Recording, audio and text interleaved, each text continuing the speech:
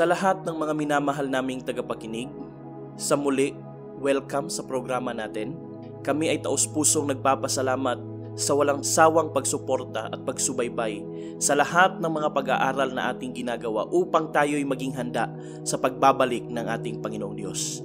Ito ang programang pinamagatang Paghahanda sa Pagharap sa ating Panginoong Diyos. Isang programang itinatag upang tayo'y matuto kung ano ba yung dapat nating gawin upang tayo'y maging handa sa pagbabalik ng ating Panginoong Diyos. Nasa part 2 na tayo mga kapatid ng pag-aaral patungkol sa origin of the Bible.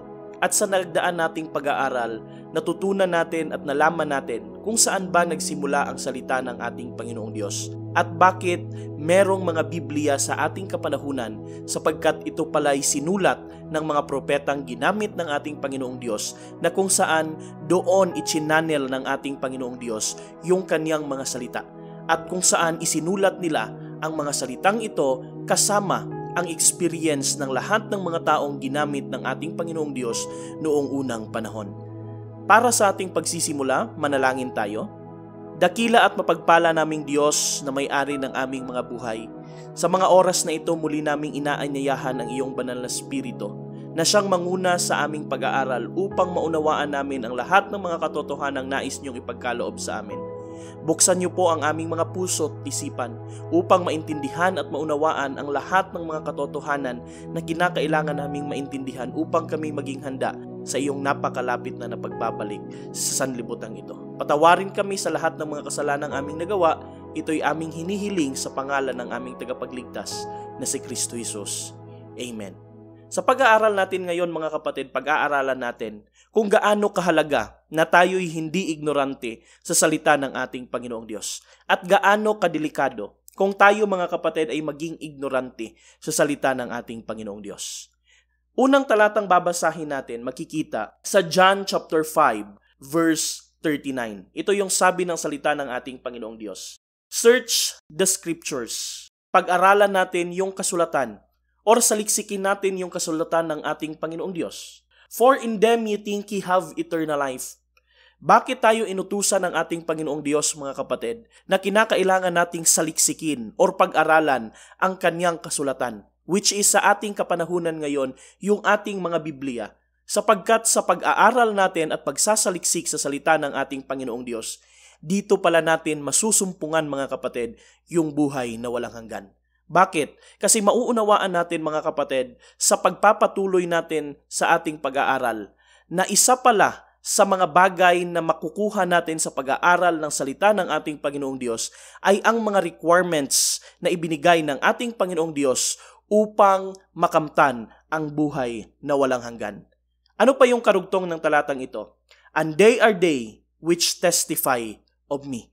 Ibig sabihin yung salita ng ating Panginoong Diyos mga kapatid, ito pala yung nagpapakilala sa atin sa ating Panginoong Heso Kristo. Kaya nga sinabi ko kanina mga kapatid, lahat ng mga requirements na gustong ipasunod sa atin ng ating Panginoong Diyos upang tayo ay magkaroon ng buhay na walang hanggan ay nakasulat sa salita ng ating Panginoong Diyos. Now tingnan natin mga kapatid dito sa Matthew chapter 22 verse 29. Sabi niya dito, Jesus answered and said unto them, Ye do ear, kayo ay nagkakamali not knowing the scriptures nor the power of God. Sa talatang ito mga kapatid ay mauunawaan natin na kapag pala tayo mga kapatid ay walang kaalaman sa salita ng ating Panginoong Diyos or sa kasulatan, ito yung magiging dahilan mga kapatid na lahat ng mga prinsipyo at doktrinang ating sinusunod ay mali sa harap ng ating Panginoong Diyos. Kaya nga inutusan tayo ng ating Panginoong Diyos na kinakailangang saliksikin at pag-aralan natin yung salita ng ating Panginoong Diyos. Dito naman mga kapatid sa Hosea chapter 4 verse 6. Aside mga kapatid na tayo'y magkakamali sa lahat ng mga prinsipyo at doktrinang ating susundin kung tayo'y walang kaalaman at walang karunungan sa salita ng ating Panginoong Diyos, ano pa yung mangyayari? Sabi niya dito, My people are destroyed for lack of knowledge. Yung aking mga tao ay napahamak, nawasak or nasira dahil sila'y nagkulang ng kaalaman. So ganito pala kadelikado mga kapatid kung tayo'y magkulang ng kaalaman sa salita ng ating Panginoong Diyos. Ano yung mangyayari? Ito yung pwedeng maging dahilan ng ating kapahamakan. Now tingnan natin mga kapatid, ano ba yung dahilan kung bakit maraming mga tao ngayon sa sanlibutan ang nagkulang ng kaalaman sa salita ng ating Panginoong Diyos? Sabi niya dito, Because thou hast rejected knowledge, Ibig sabihin, isang factor mga kapatid kung bakit napakaraming mga tao ngayon sa sanlibutan na walang alam sa salita ng ating Panginoong Diyos or walang karunungan sa salita ng ating Panginoong Diyos dahil kanilang itinakwil yung karunungan. Ibig sabihin, meron sana silang opportunity na malaman yung salita ng ating Panginoong Diyos. Kasi sa sanlibutan ito mga kapatid, napakaraming Biblia na kung saan doon nakasulat ang salita ng ating Panginoong Diyos. Pero maraming mga tao na walang panahon na pag-aralan yung salita ng ating Panginoong Diyos. Kaya yung programang ito mga kapatid ay itinatag upang maipaalam natin sa lahat ng mga tao sa sanlibutan kung ano ang kahalagahan ng pag-aaral ng salita ng ating Panginoong Diyos. Na once i-reject natin mga kapatid yung karunungan at kaalaman sa salita ng ating Panginoong Diyos, ano naman yung gagawin ng ating Panginoong Diyos? I will also reject thee. Ibig sabihin ito din yung magiging dahilan mga kapatid na tayo'y itatakwil ng ating Panginoong Diyos. That thou shalt be no priest to me, seeing thou hast forgotten the law of thy God I will also forget thy children. Ibig sabihin mga kapatid, ano yung dahilan kung bakit sila itinakwil ng ating Panginoong Diyos? Sapagkat una nilang itinakwil mga kapatid yung karunungan.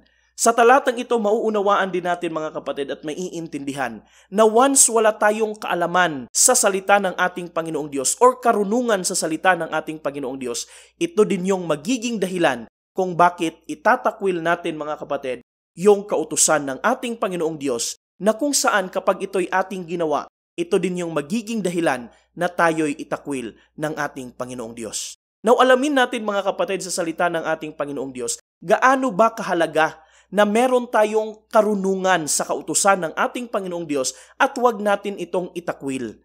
Sabi mga kapatid dito sa Luke chapter 10, verse 25 to 26, ito yung sabi ng salita ng ating Panginoong Diyos. And behold, a certain lawyer stood up and tempted him, saying, Master, what shall I do to inherit eternal life? So merong isang abogado mga kapatid na lumapit kay Kristo at tinanong si Kristo ano yung kanyang dapat gawin upang siya'y magkaroon ng buhay na walang hanggan.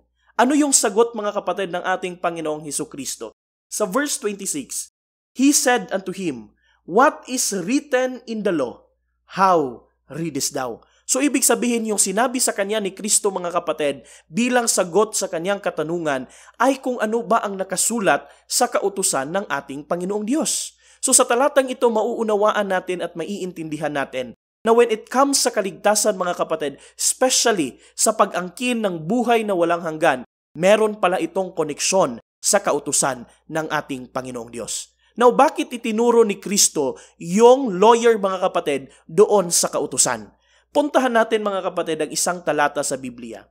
Matthew chapter 19 verse 16 to 19. Meron namang isang binatilyo mga kapatid na lumapit kay Kristo at nagtanong kung ano yung kanyang dapat gawin upang magkaroon ng buhay na walang hanggan. Sabi niya dito, And behold, one came and said unto him, Good master, What good things shall I do that I may have eternal life? So ito yung katanungan mga kapatid ng binatilyo doon kay Kristo. The same mga kapatid sa katanungan ng lawyer doon kay Kristo. Kung ano yung dapat niyang gawin upang siya'y magkaroon ng buhay na walang hanggan. Ano naman yung sagot dito ni Kristo sa nagtanong sa kanya mga kapatid kung ano yung kanyang dapat gawin upang magkaroon ng buhay na walang hanggan? Sa verse 17, And he said unto him, Why callest thou me good? Bakit mo ako tinatawag na mabuti? There is none good but one. Walang ibang mabuti kung hindi iisa lamang. That is God. Siya ang ating Diyos.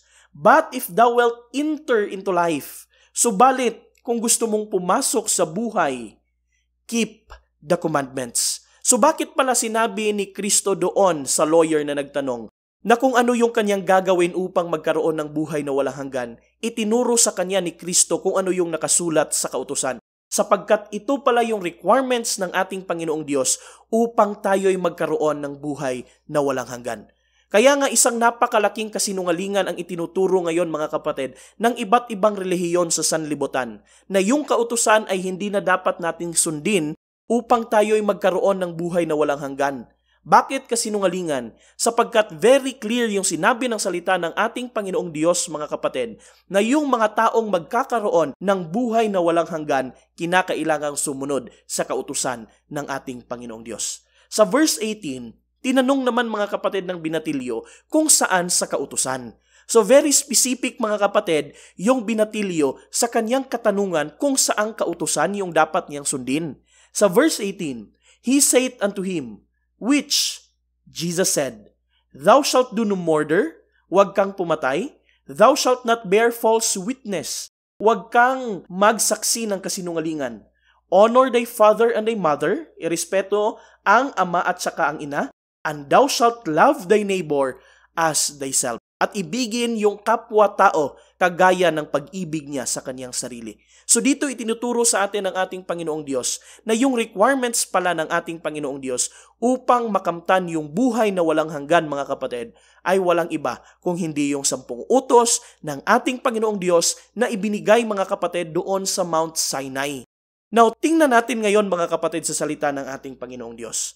Ano ba yung dahilan kung bakit napakaraming mga tao ngayon sa sanlibutan na yung kautusan ng ating Panginoong Diyos ay kanila ng tinalikuran at hindi na pinapasunod. Basahin natin mga kapatid yung Ephesians chapter 4 verse 17 to 18. Ito yung sabi ng salita ng ating Panginoong Diyos. This I say therefore and testify in the Lord that ye henceforth walk not as other Gentiles walk. So ito yung paalaala mga kapatid ng salita ng ating Panginoong Diyos sa atin na sana wag tayong mamuhay mga kapatid kagaya ng pamumuhay ng ibang mga hintil in the vanity of their minds. Kasi yung mga hintil na iyon mga kapatid ay namumuhay at lumalakad na naaayon sa mga wala nilang silbing pag-iisip. Verse 18. Ano yung dahilan mga kapatid kung bakit naging walang silbi yung kanilang pag-iisip? Having the understanding darkened sapagkat yung kanilang pangunawa mga kapatid ay naging madilim being alienated from the life of God through the ignorance that is in them because of the blindness of their heart. Ano pala yung dahilan mga kapatid kung bakit yung kanilang pangunawa ay naging madilim? Sapagkat sila mga kapatid ay naging ignorante at yung kanilang mga puso ay naging bulag. So dito natin malalaman sa talatang ito mga kapatid, ano ba yung dahilan kung bakit napakaraming mga tao ngayon sa sanlibutan na sila mga kapatid ay nagtuturo na wala ng kautusan na kinakailangan nating sundin, hindi na ito kabahagi sa ating kaligtasan sapagkat sila pala mga kapatid ay naging ignorante at yung kanilang mga isipan ay nadiliman. So ibig sabihin, wala silang karunungan mga kapatid sa salita ng ating Panginoong Diyos na siyang magbibigay liwanag sa kanila sanang mga kaisipan.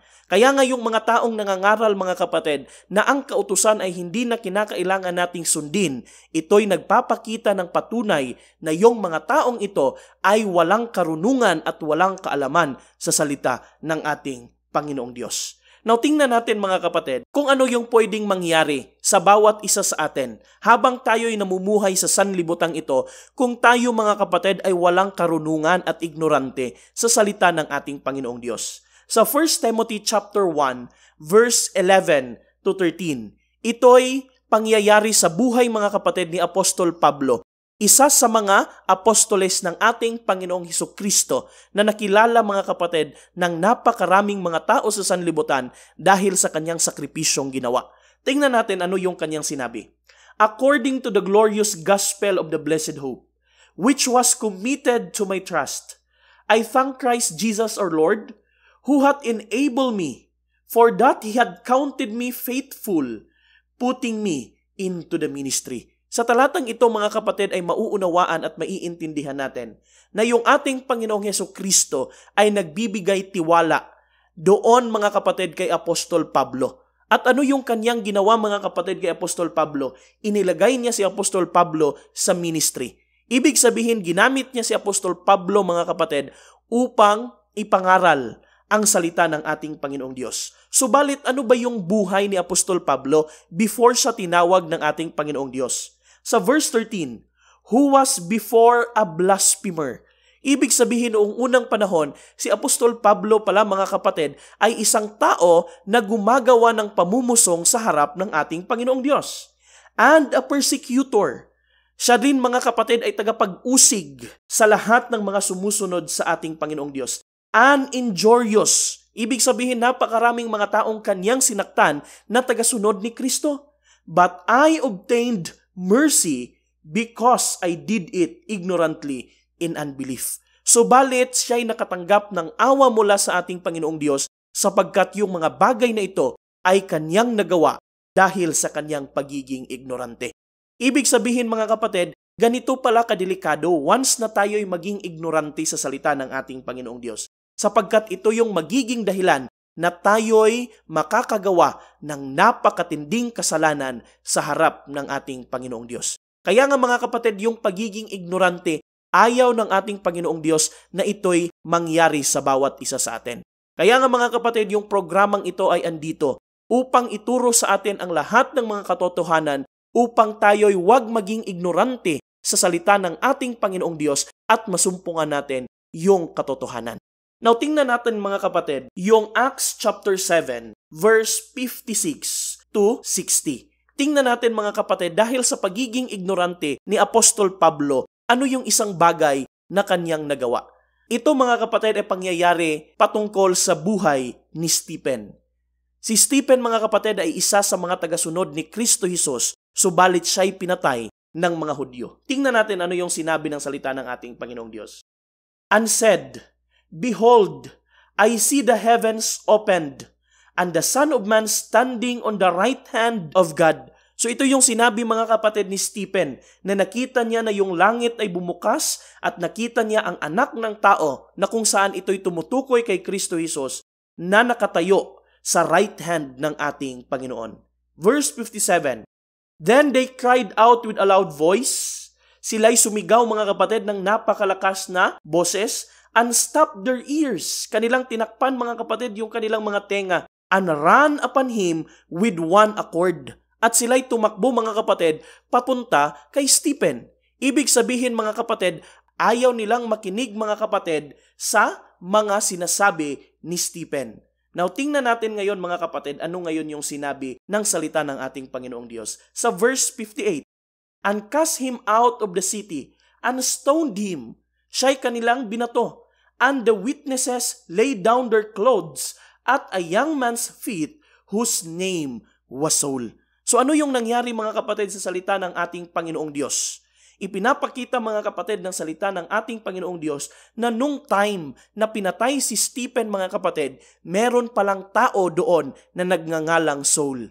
Now sa verse 59, sabi naman dito mga kapatid ni Stephen, And they stoned Stephen, calling upon God, and saying, Lord Jesus, receive my spirit. Sa verse 60, ano yung sabi ng salita ng Panginoong Diyos?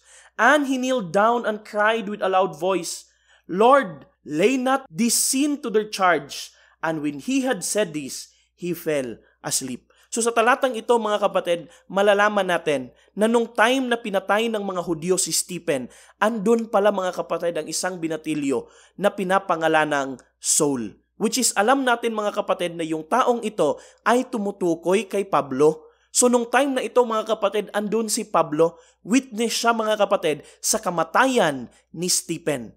Bakit? Kasi nung time na ito mga kapatid, siya'y naniniwala na yung ginagawa ng mga Hudyo, ito'y paglilingkod sa ating Panginoong Diyos. Kaya nga mga kapatid, ipinapakita sa atin ng ating Panginoong Diyos kung gaano kapilegro at gaano kadelikado kung tayo mga kapatid ay walang karunungan at kaalaman sa salita ng ating Panginoong Diyos. While in fact mga kapatid, ano pa yung isang bagay na ginawa ni Saul nung time mga kapatid na hindi pa niya tinanggap si Kristo Jesus at hindi pa siya naniwala sa aral ng ating Panginoong Heso Kristo. Acts chapter 8 verse 1. Sabi niya dito, and Saul was consenting unto his death. Ibig sabihin sa kamatayan mga kapatid ni Stephen, kahit pala si Pablo nung time na yon, meron siyang pag-consent. Ano pa yung sabi ng salita ng ating Panginoong Diyos? And at that time, there was a great persecution against the church which was at Jerusalem.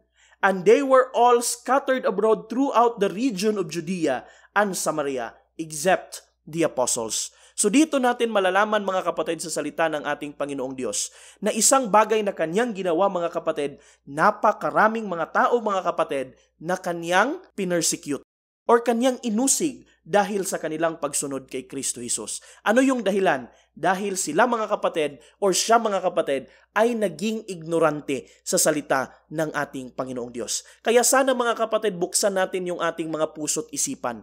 Imulat natin mga kapatid yung ating mga mata sa lahat ng mga salita ng ating Panginoong Diyos na kahit masakit, tanggapin natin mga kapatid ang katotohanan na minsan pala na tayo ay naging bulag sa katotohanan at minsan yung iglesia na kung saan tayo napapabilang, sila rin ay naging bulag sa katotohanan. Upang tayo ay mamulat sa katotohanan at masunod natin ang kalooban ng ating Panginoong Diyos. Now dito mga kapatid sa Acts 26, verse 9 to 12, alamin natin mga kapatid kung bakit naging ignorante si Apostol Pablo. Sabi niya dito, I verily thought with myself that I ought to do many things contrary to the name of Jesus of Nazareth. Alam niya mga kapatid na napakaraming mga bagay na kanyang ginawa na labag sa kalooban ng ating Panginoong Diyos, Panginoong Heso Kristo. Which things I also did in Jerusalem, and many of the saints did I shut up in prison. Napakaraming mga santo mga kapatid na ikinulong ni Pablo. Having received authority from the chief priest. Saan niya pala nakuha mga kapatid yung authority? Bakit niya ginawa yung mga bagay na yon? Doon mga kapatid sa kanilang mga chief priest or yung mga leaders ng kanilang church noong unang panahon. And when they were put to death, I gave my voice against them.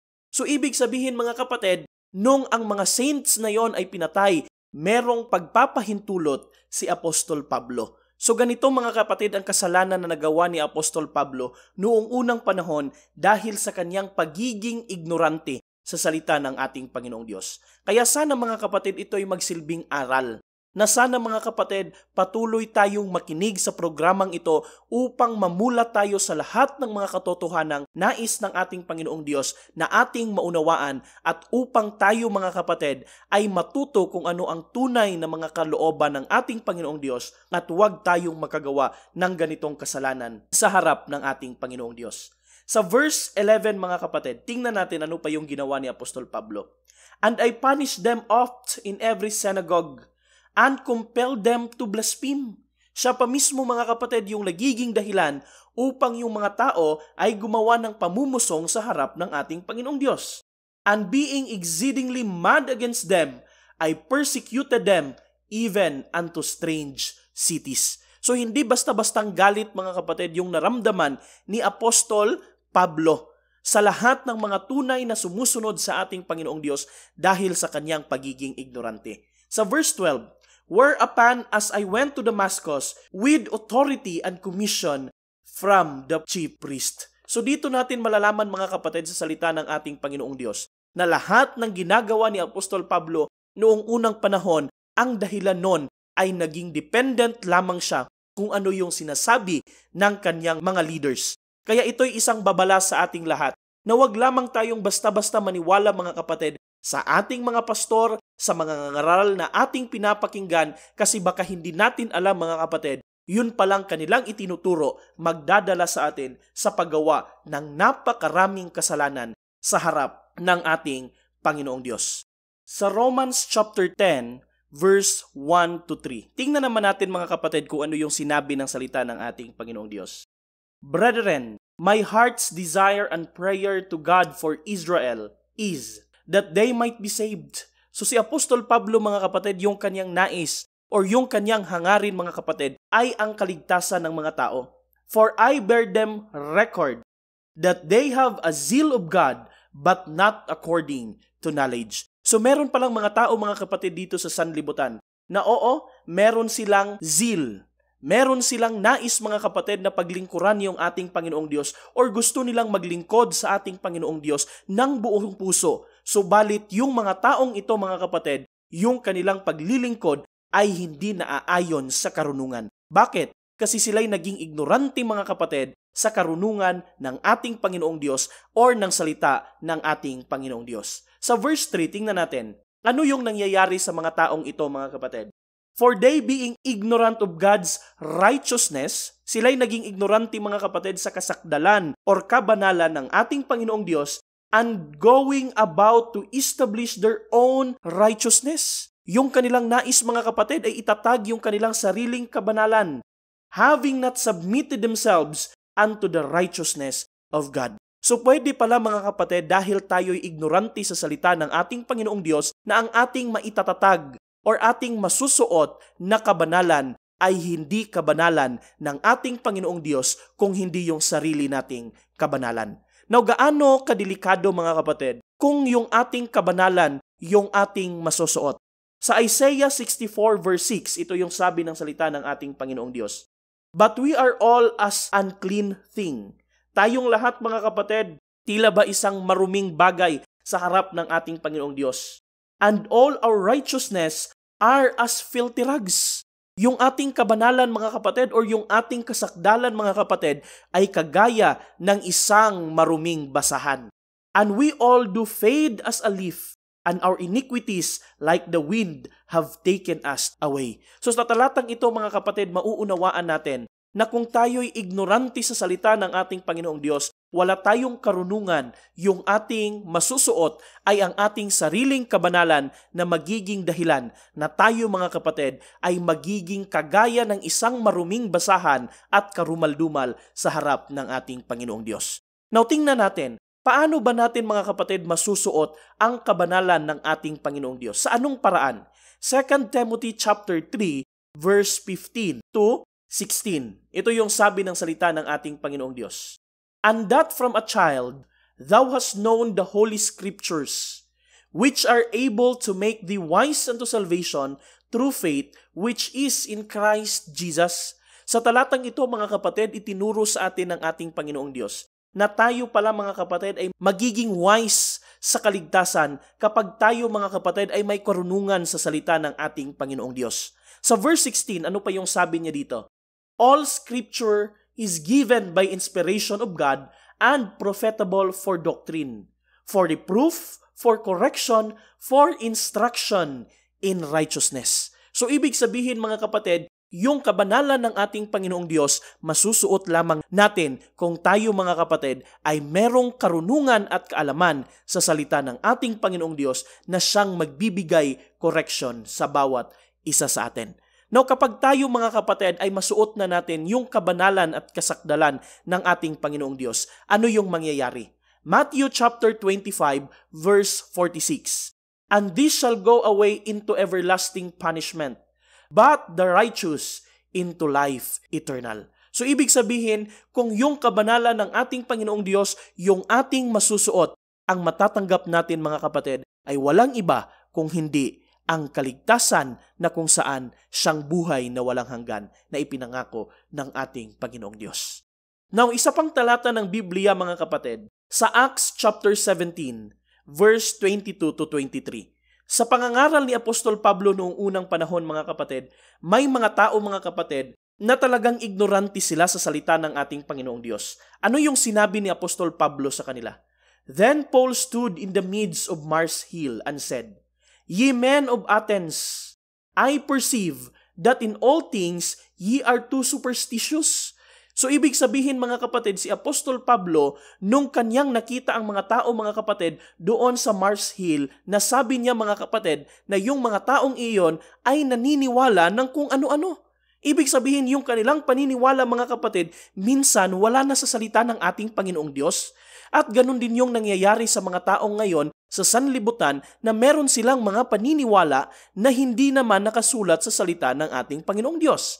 At malalaman natin yan mga kapatid sa ating pagpapatuloy ng pag-aaral sa salita ng ating Panginoong Diyos kung sino yung mga taong iyon. Sa verse 23, sabi niya dito, For as I passed by, I beheld your devotion. So ibig sabihin yung mga taong ito mga kapatid ay tunay na mga deboto. Grabe yung kanilang devotion mga kapatid sa kanilang paniniwala. I found an altar with this inscription, To the unknown God, whom therefore ye ignorantly worship, him declare I unto you. So ibig sabihin mga kapatid, yung Diyos na kanilang sinasamba, hindi nila kilala. At ito din yung nangyari ngayon sa mga tao sa sanlibutan na sila'y naglilingkod, nagdadasal mga kapatid, pero yung kanilang pinaglilingkuran, yung kanilang pinagdadasalan, hindi pala nila kilala kung sino talaga yung mga taong iyon. Kaya napakaraming katotohanan na naman yung ipinahayag sa atin yung ating Panginoong Diyos mga kapatid sa mga oras na ito. Natutunan natin yung napakaraming katotohanan kung ano yung pwedeng mangyari sa atin mga kapatid kapag tayo'y naging ignorante sa salita ng ating Panginoong Diyos. Kung meron kayong mga katanungan mga kapatid, tumawag lamang kayo or mag-text sa numero 0917 880 58 0917-134-0660. Tayo'y manalangin Dakila at mapagpala naming Diyos na may-ari ng aming mga buhay, sa muli ibinabalik namin sa iyo ang lahat ng papuri at pagpapasalamat sapagkat kami ay iyong binigyan ng panibagong panahon upang kami makapag-aral ng iyong banal na salita. At napakarami na naman ng mga bagay na aming natutunan na siyang magtuturo sa amin sa tamang landas na kinakailangan naming tahakin. Salamat sa pagmulat ng aming mga mata, sa pagbukas sa aming mga puso upang tanggapin ang lahat ng mga katotohanan na nais niyong ipa alam sa bawat isa sa amin. Aming hinihiling ang patuloy na pagbibigay ng pusong mapagkumbaba sa lahat ng mga taong nakikinig upang sila'y patuloy na sumunod sa iyong mga banal na salita at makinig sa programang ito. Patawarin kami sa lahat ng mga kasalanan ang aming nagawa, ito'y aming hinihingiling sa pangalan ng aming tagapagligtas na si Kristo Jesus. Amen.